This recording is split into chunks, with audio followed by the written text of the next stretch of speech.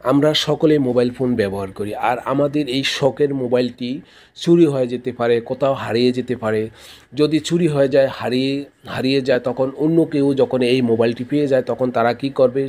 মোবাইলে থাকা সিমটি খুলে ফেলতে পারে অথবা মোবাইলটি বন্ধ করে রাখতে পারে।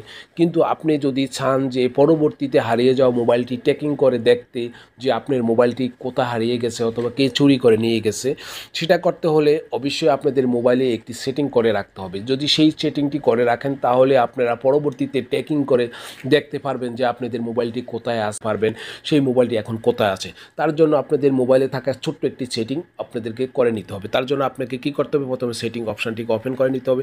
সেটিং অপশানটি ওপেন করে আপনাদেরকে খোঁজে নিতে হবে কোথায় লেখা আছে গুগল দেখেন এই গুগলের উপর ট্যাপ করে দিতে হবে। গুগলের উপরে ট্যাপ করে দেওয়ার পর নতুন আরেকটি ইন্টারফেস ওপেন হলো। ওপেন হওয়ার পরে এরকম একটি ইন্টারফেস ওপেন হবে। ওপেন হওয়ার পরে আপনারা হয়তো বা এখানে নিচে পেয়ে যেতে পারেন। ফাইন মাই ডিভাইস আমাদের এখানে এখানে দেখা যাচ্ছে ফাইন মাই ডিভাইস আমি ফাইন মাই ডিভাইসের উপর ট্যাপ করে দিব। ফাইন মাই ডিভাইসের উপর ট্যাপ করে দেওয়ার পরে আপনাদের এইরকম আরেকটি ইন্টারফেস চলে আসবে। আসার পরে আপনারা কী করবেন? খুঁজে নেবেন, এখানে যে কোনো জায়গায় পেয়ে যাবেন ফাইন ইউর অফলাইন ডিভাইস এই ফাইন ইউর অফলাইন ডিভাইস এখানে আপনারা ট্যাপ করে দিবেন। এখানে ট্যাপ করে দেওয়ার পরে দেখেন, এইরকম একটি ইন্টারফেস ওপেন হবে। ওপেন হওয়ার পরে আপনাদের কিন্তু মোবাইলটি অফ সিলেক্ট করা থাকতে পারে। অথবা উইথ নেটওয়ার্ক এই অপশানটি থাকতে পারে, অথবা with network in all area এটা থাকতে পারে। যদি থাকে তাহলে আপনারা কি করবেন? উইথ আউট নেটওয়ার্ক এই উইদাউট নেটওয়ার্কটি সিলেক্ট করে দিবেন।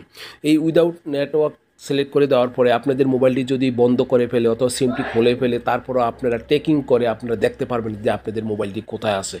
এই হলো আজকের ভিডিওটি ভিডিওটি ভালো লাগলে অবশ্যই একটি লাইক করবেন। Okay that's it